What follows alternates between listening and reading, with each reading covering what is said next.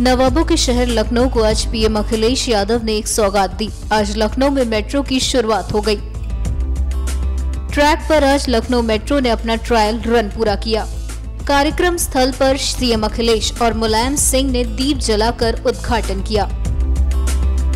कार्यक्रम में SP chief Mulayam Singh Yadav Dimple Yadav, Arpana Yadav Shivpal Yadav, Azam Khan CM Akhilesh Yadav की कैबिनेट के कई मंत्री और समाजवादी पार्टी के कार्यकर्ता मौजूद रहे।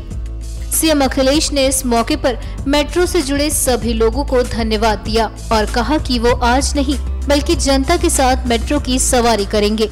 वहीं मुलायम सिंह ने कहा कि आज का दिन उत्तर प्रदेश के लिए ऐतिहासिक है। उन्होंने मेट्रो का काम समय से पूरा करने के लिए सभी अधिकारियों और अखिलेश को बधाई दी। मुलायम ने कहा कि कोई नहीं कह सकता कि उत्तर प्रदेश में काम नहीं हुआ। मुख्यमंत्री के कामों की हर तरफ़ तारीफ़ होती है।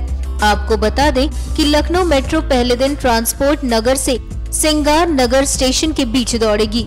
लखनऊ मेट्रो रेल कॉरपोरेशन यानी एलएमआरसी ने महज दो साल दो महीने में मेट्रो को ट्रैक पर उतारने की मिसाल पेश की है। मेट्रो को ट्रैक पर उतारने से पहले एलएमआरसी और कोच बनाने वाली अल्स्टॉम कंपनी के इंजीनियर्स ने 10 दिन तक कोचों का स्टैटिक और डायनेमिक ट्रायल किया इसमें कोच के फीचर्स के अलावा braking system backup control room से कनेक्टिविटी झटके लेने की जाँच की गई।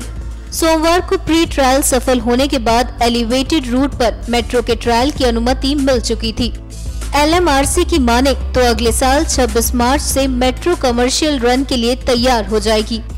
पहला commercial run north south corridor के आठ दशमलव पाँच किलोमीटर लंबे प्राथमिक संक्शन यानी ट्रांसपोर्ट नगर से चारबाग मेट्रो स्टेशन पर होगा।